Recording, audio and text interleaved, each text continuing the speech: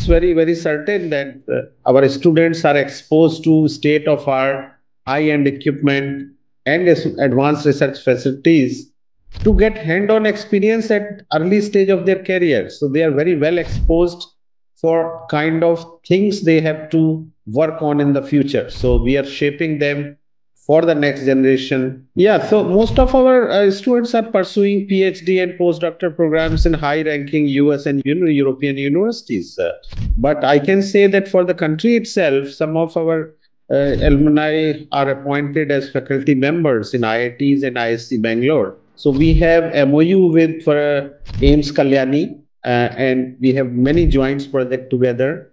We have MOU with IIT Kharagpur, Uh, and we have MOU with the NIBMG Kalyani. So these institutions, we have individual MOUs for joint research and teaching also. So some of our, our faculty members teach in those institutions and vice versa.